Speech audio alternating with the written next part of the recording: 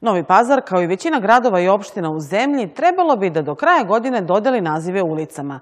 Takva odluka doneta je pošto je Republički geodetski zavod završio ažuriranje adresnog registra i izradu elaborata uličnih sistema u svim gradovima i opštinama u Srbiji.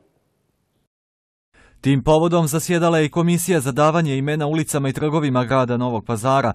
Članovima komisije i stranke Demokratske akcije Sančaka podnijeti elaborat sa prijedlozima novih naziva ulica, na kojem se radilo, kažu, oko godinu dana. Sačinjen je od preko 700 novih prijedloga sa obrazloženjima. Tu su važna neka načela i kriterijumi koji su već ranije usvojeni, kao na primjer da se prije svega da prioritet nekim tradicionalnim nazivima ili domaćim nazivima ulica koji postoje u Novom pazaru, onda da se uvaži nekako i nacionalna struktura stanovništva.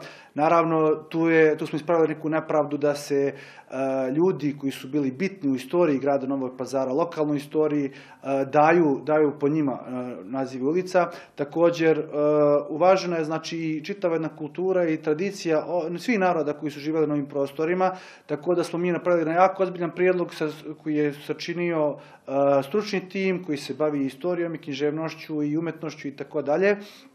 I danas smo razmatrali te prijedloge, svakako da će komisija u narednih par sednica zasjeda do kraja godine gdje ćemo napraviti jedan ozbiljnu strukturu. Cilj promjene naziva ulice je da svaki građanin Novog pazara ima svoju adresu, odnosno ulicu i broj. Prema njihovim podacima u Novom pazaru postoji oko 170 zvaničnih naziva ulica, iako na teritoriji grada postoji potreba za preko 700 novih imenovanja. Kako je i predviđeno, novi nazivi ulica bi trebali biti usvojeni do kraja godine, kako bi sve one potom bile upisane u adresni registar.